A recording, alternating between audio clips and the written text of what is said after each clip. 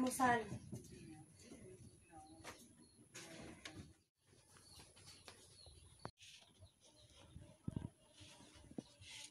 Nay, susunod na po. Gigising ko si kuya.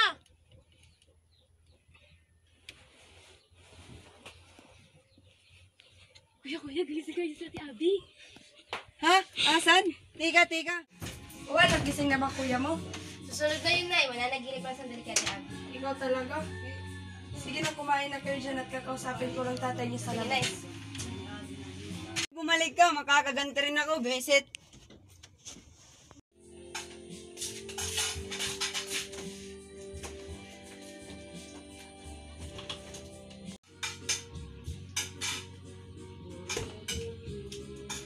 Luna, si Nanay Asan. Ano, ano sa labas kasama si tatay?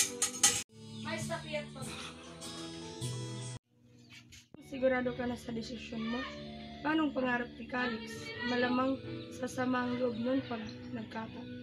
Ano pa bang magagawa natin? Wala tayong sapat na pera mapag-aral yung anak mo sa kolehiyo. Ayun mo naman si Luna pagkatapos ng mag-aral sa high school. Pagkukulungin ko na dito. Gawa naman natin yan ang paraan yung tuition fee ni Calix pag-iipunan ko. Gagawa mahal. Pagkain nga, hirap pa tayo. Pang tuition pa kaya.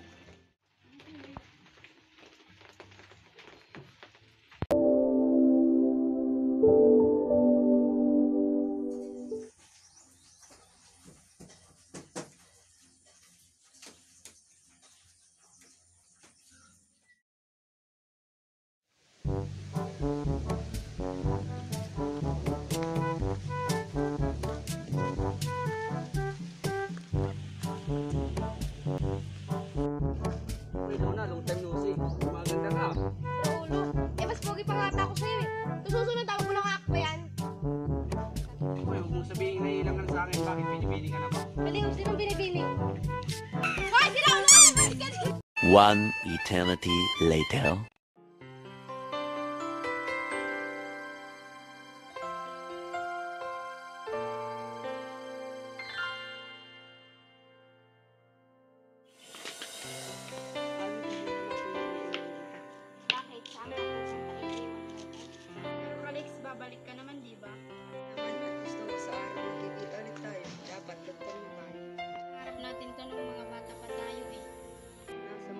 Pagbabalik ko, gusto ko sanang parehas na tayong may suot ng stethoscope.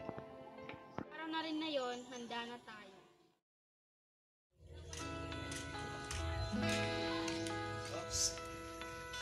Sino yan? Luna, labas. Alam kong ikaw yan. Pogi pa rin ba ako? Napatawag ka ni tatay sa bahay nila.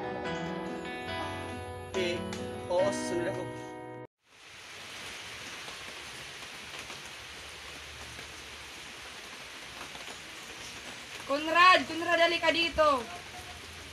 Anong problema, mahal? Umalis na si Alex, iniwan niya tayo. Ito yung sulat.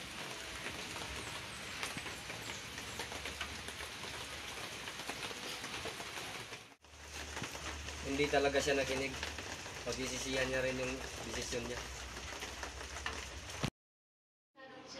Magpahinga lang po muna kayo para di na sulat pa Sigurado ka bang may pambayad tayo dyan? Problemahin yung like kami ng bahay ng tatay.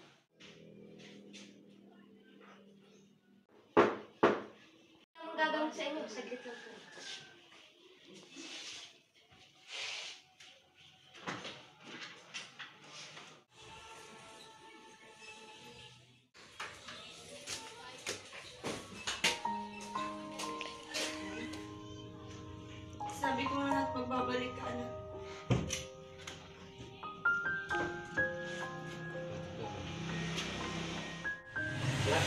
Hindi ka na bigo sa pinagkalaban mo.